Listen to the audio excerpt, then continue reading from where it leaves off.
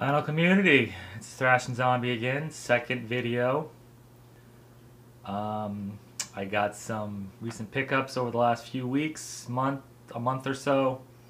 I have a huge stack here, so I'm just gonna start showing them. Um, nothing really spectacular here, just some uh, ones I picked up from uh, thrift stores and a couple I got from uh, vendors on Facebook. Um, one straight from the from Earache Records again. The first uh, first one is uh, Commodores Greatest Hits. Um, never heard listen to Commodores before. It's a pretty good album. I just finished listening to it. Um, I actually never knew that uh, Lionel Richie was part of the Commodores.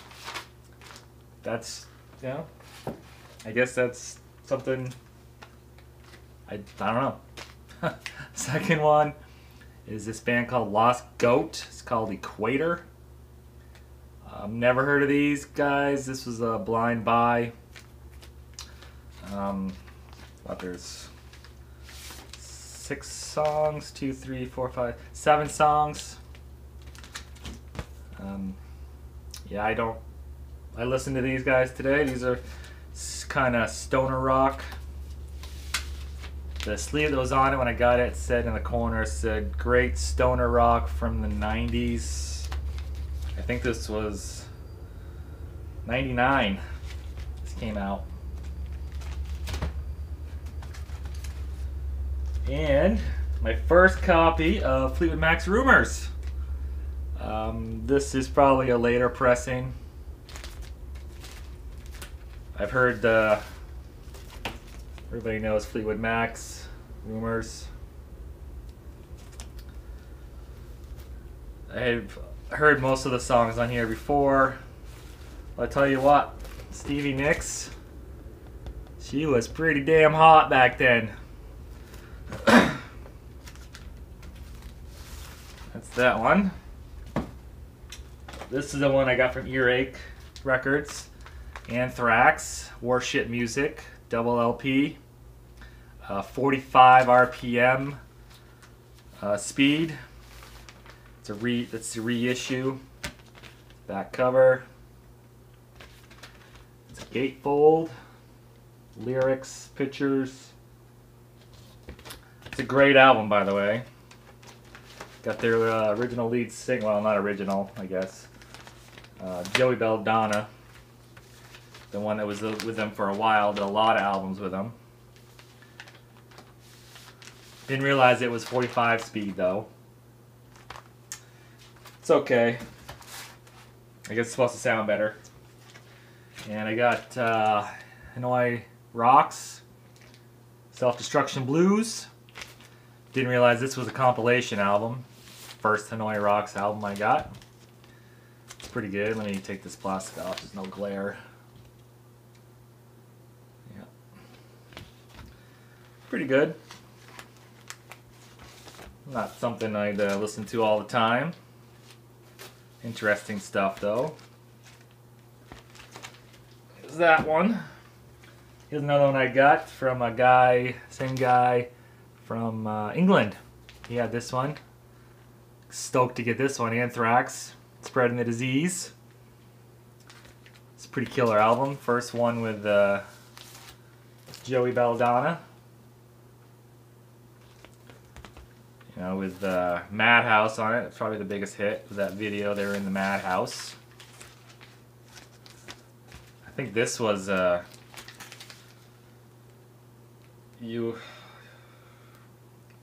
It's a U.S. pressing, first U.S. pressing. That's a little bit of a little bit of cash there. This one, Chicago. Kind of gotten into Chicago lately. This one is uh, seven. Yeah, Chicago 7. Double LP. Yeah, back's the same as the front. It's a thrift store find. Chicago's pretty easy to find everywhere, I guess.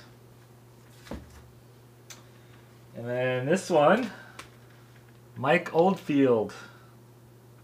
Yeah, Oldfield? however you say this,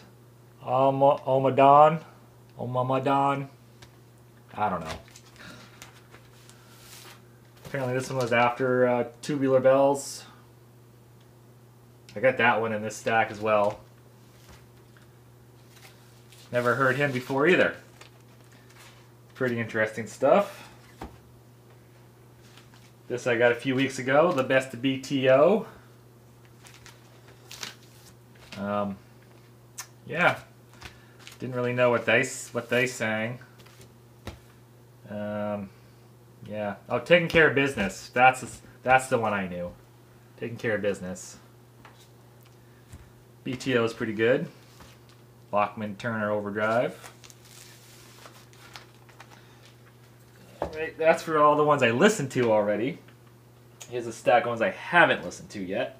Steve Perry's first album, Street Talk. Um, Black Vinyl. This is back. Everybody knows this album, I guess, too. First album after you left Journey. You know, song Sherrie. Yeah, there's that. This one, which a lot of people don't really like. The first album they liked a lot, but this one didn't get a lot of love. This is the knack. Uh, but the little girls understand. Haven't listened to this to see why it doesn't get a lot of love. I like the first album. It's pretty good. Haven't listened to this yet. Most of these are all the standard black vinyl. Got uh, Robert Palmer's Riptide. You know, the big hit there, uh, Addicted to Love. Same as a. Likes having his face on the cover, apparently, kind of like Phil Collins. Riptide. John Cougar Mellencamp. Uh huh. It's a weird name for an album. Had some fairly big hits on here. Pink Houses. Guess that's it. Crumbling Down. I think I like that song.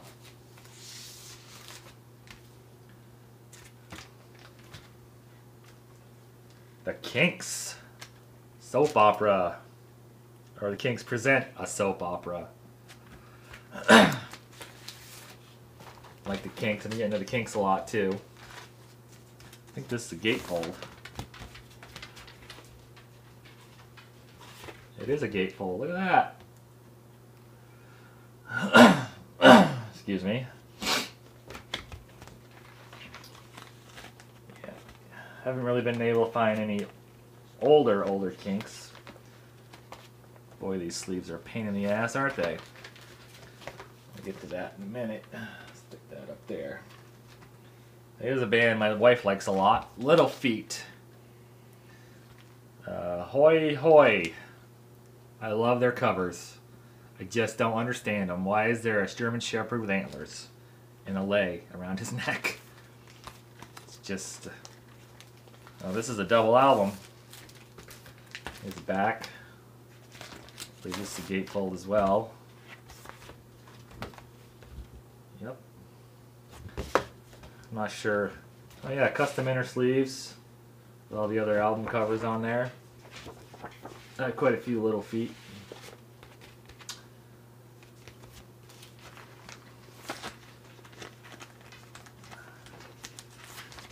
Little Feat. We have some weird covers.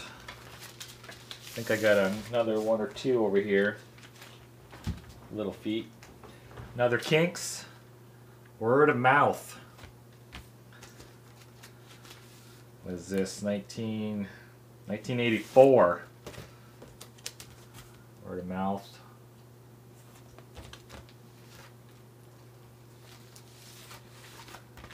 I think this one, Little Feat, John Cougar. The last four I think I got at um, in Keene, New Hampshire. Keene on vinyl, it's called. This is uh, Status Quo. Quo, I think it's called. Yeah, Quo. This was a blind buy too. Never heard of these guys before. I checked them out a little bit on uh, Google Play Music, which is what I use for streaming music. I don't use Spotify. I don't use Pandora. I'm a Google guy. Oh, here's another Little Feat. Time Loves a Hero. Just amazing covers on Little Feat stuff. I don't think this is a gatefold. Wait. Nope, it's not. Not a gatefold. Interesting though. Custom inner sleeve, lyrics, pitches.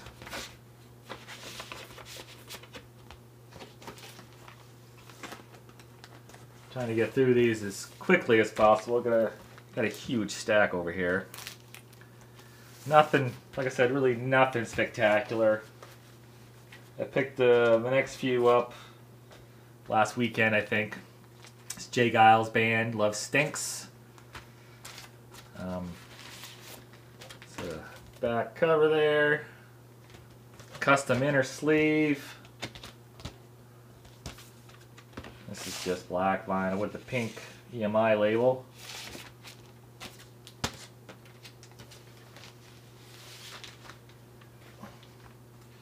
I picked this up, not a huge fan. It's Neil Young. After the gold rush. Figured I'd give it a shot. It's only a dollar. It's back. Custom, I mean, uh, inner sleeve, I mean, uh, gatefold. Uh, yeah, I'd give, give him a shot, I guess, for a buck. I've Heard some of his stuff. I mean, who hasn't heard a lot of uh, Neil Young stuff?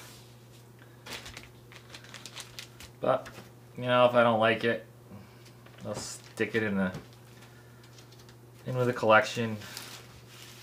Maybe if I get some uh, vinyl community friends, I can trade. And I got it to Mike Oldfield again, Tubular Bells this time. Could have got a nicer copy without the uh, the name on it at uh, the Newbury Comics, which they only take stuff that really doesn't have writing on it. But theirs was like ten dollars, and I saw this, and this was only a couple bucks at the Listen Center. I mean, it's not a terrible copy. It's not scratched or anything. It's uh, it's got that cool, um, cool uh, label there. I haven't listened to this yet either. Talked a lot about it on the vinyl community though. Everybody's like, "Oh, I got a Tubular Bells," and I got one too. Apparently, it's easy to find. This was another blind buy. I hadn't heard of this band before, but I liked the cover. Checked them out to see what they were on uh, Google before I actually decided to buy it. I said, well, I'll give them a shot. It's called Blackfoot Strikes. Um, kind of glare on that. It's got a snake there. Cobra, maybe? I don't know. They look like uh, Native Americans to me. Blackfoot is a type of a Native American people. So I guess that's what they are. I don't know. I figured I'd give them a shot. This came out in 1979. I don't know if it's an original pressing. I don't know. Like I said in my last video, I don't care if they're original pressings or not. As long as they're listenable, they don't have a bunch of scratches on them. The sleeves, okay. And this one I got because my wife likes this movie. I think my kid does too. It's the Rocky Horror Picture Show. I got this as a listen as well. I I hate this movie, but couldn't pass up the record of the music. You know, it's just some funny stuff. Never seen it before either, so I figured I'll get it. Excuse me. And I got this. I'm not a country fan. I have a Johnny Cash album over here, San Quentin, I think. That. Oh, I also have the Judds. I picked that up for a dollar somewhere. But this is Johnny. Um, Kenny Rogers, the gambler. Um, I just picked it up because Yeah, I like the Gambler. That's a good song. And I was looking at the the picture here. I don't know if anybody else knows who Aubrey Plaza is. He was on Parks and Recreation. If you look closely at this girl right here, and then look at Aubrey Plaza, they look a lot alike. I thought it was her at first, and I said it couldn't be because this album came out in like the 70s. There's no way that could have been her, but it looks so much like her. Yeah, 1978. I don't know. I don't have my glasses, but yeah, 70s. My wife likes this guy, James Taylor. Um, I don't think I've heard this album yet. It's a weird, uh, weird thing here. People say he's pretty good. I mean, I, I have I have his greatest hits. Oh wait, this flips up, doesn't it? Oh no. Oh no. It needs to be glued. I have his greatest hits, the white cover there, and I have um, Mud Slim or the one where he's like really young. At some point, I'll I'm gonna show all the records I have at some point, but today's just these vinyl finds. It's running a little long here. And I got BB uh, King in London. Apparently, this uh, did this with a lot of other musicians. Um, Ringo Starr. It's the only one I really know. Yeah. I don't know. Another bunch of other musicians he worked with over in London at Abbey Road. Gatefold. I like BB King. I like the blues. Even though I am a, a metalhead, I like metal. My favorite genre is metal. But I get into anything else, you know. I like I like jazz. I like the blues. Speaking of metal, Ozzy's Bark at the Moon.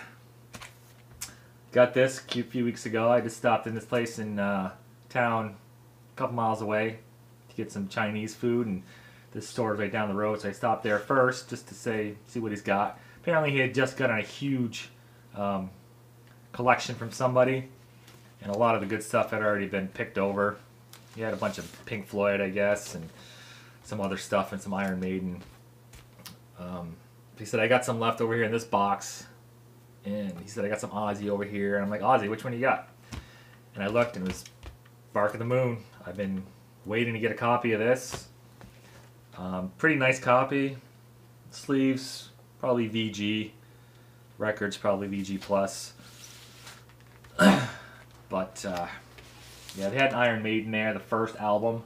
Don't know what pressing it was. Um, wanted forty dollars for it, and I had just spent a bunch of money on these some of these other records, and I couldn't couldn't do it. But I got this one because it was this one was twenty dollars. I said I'll get this one. If I go back and that Iron Maiden's still there when I have money again, eh, I'll probably get it. Very phlegmy today. And I got uh, Blue Oyster Cult, Secret Treaties. Blue Oyster Cult's pretty good band. Everybody knows Blue Oyster Cult, though. I don't know what pressing this is either. Doesn't really matter. And another Blue Oyster Cult. Um, apparently, I think this is their first one. Anybody help me? I believe it is. Self-titled anyway. To my ears, they sound uh, sound like um, early Aerosmith. Some of their songs. And I got the police. Z- Zenyatta Mondatta, I guess. It's Back cover. You know, you know, don't stand so close to me. I guess was the biggest biggest one. It's a custom inner sleeve.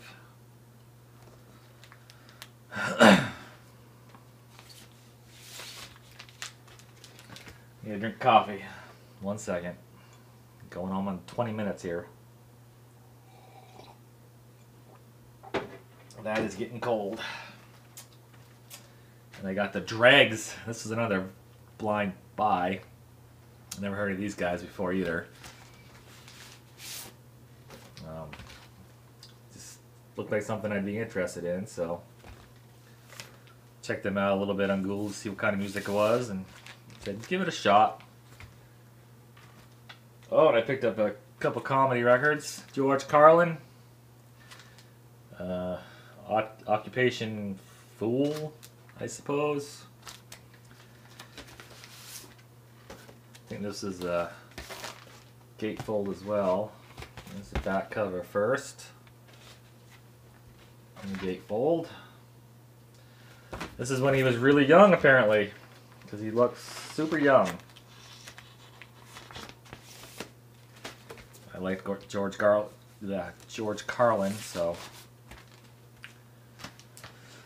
this was on a label I hadn't heard of. Get the record out here. Oh, shit. Yeah, Little David. Little David, yeah. Never heard of that before.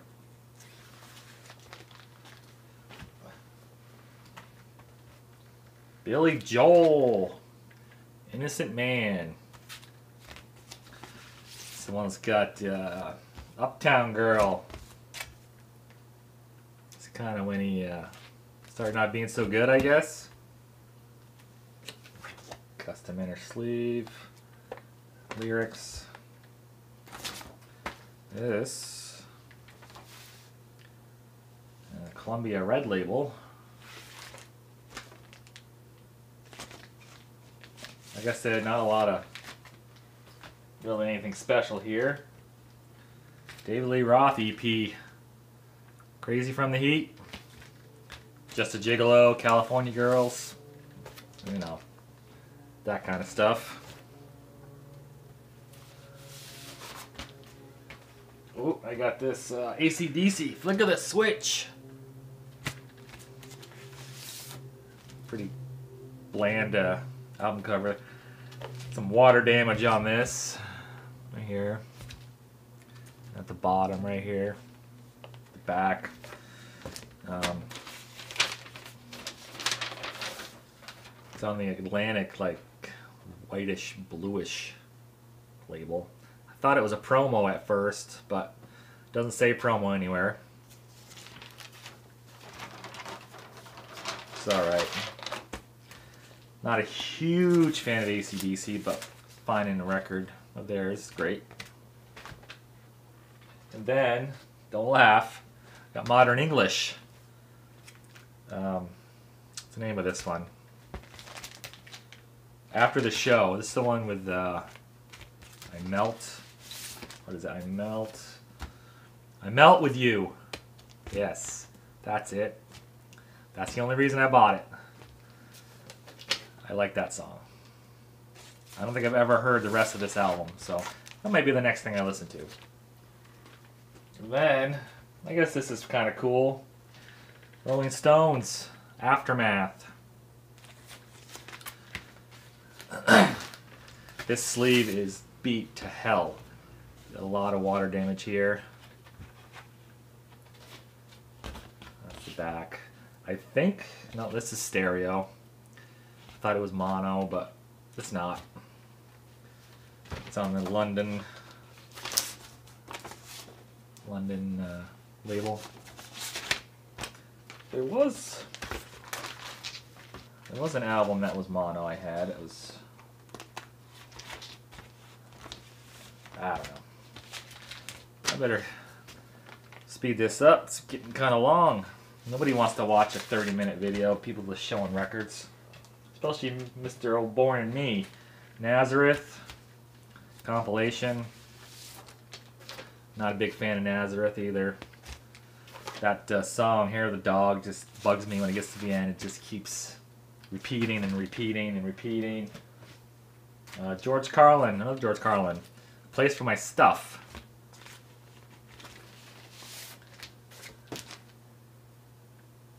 George Carlin. That's got some water damage as well. Wish people take care of their shit. Oh, here's some jazz. Blues, I don't know. Dizzy Gillespie. Dizzy Gille- Gillespie. Gillespie. That's what it is. And this is the one that's in mono. I'm going to Philips. Philips label. And then another one by him. Volume 2. I don't know if these are compilations or originals. This is on the, uh, you see that? Yeah. Everest Records Archive of Folk and Jazz Music. Orange label there. I don't know what that is. This is simulated stereo. Really don't like that that much. But, you know, what are you going to do, right? Find a mono, mono copy of it, I guess. Couple more here. Aldo Nova. Subject. Aldo Nova. Their sleeve a picture of him, I guess. Lyrics. That was pure 80s. Right there. Last one, the Righteous Brothers. Lost that love and feeling. I think this is mono as well. Looks like an older copy to me, but I don't know. I don't know all, all about that stuff. Got that love and feeling, Coco Mo, which I don't think is the same song the Beach Boys did. It could be. I haven't listened to this, this yet either. So, and that's well. Got a couple CDs I bought too. Spin Doctors. What is this one called though? Pocket Full of Kryptonite. Um, REM. Document. And where's the other one? Oh yeah. REM. Automatic for the people. That's it. I'm going to stop it because it's uh, 27 minutes. So until next time, so long.